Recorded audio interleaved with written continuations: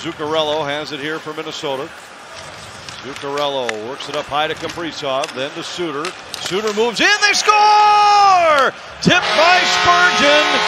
Defenseman to defenseman in the Wild have a 1-0 lead. Well, that line did what I was hoping they would do, what it looked like they would do from the outset here. They threw the puck around in the offensive zone, moved it very smartly, smartly enough that one defenseman goes all the way to the net.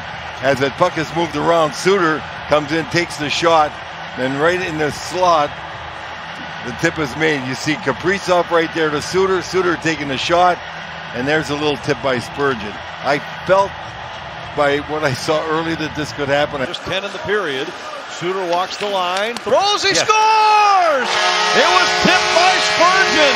And for the second time, Suter and Spurgeon team up for a Minnesota goal. You think maybe Spurgeon right now thinking maybe I should be a centerman or a forward. two two goals from no more than 15 feet out before, now right on the doorstep. Great, great presence of mind by Suter. Looking up, seeing him in front, just getting the shot through.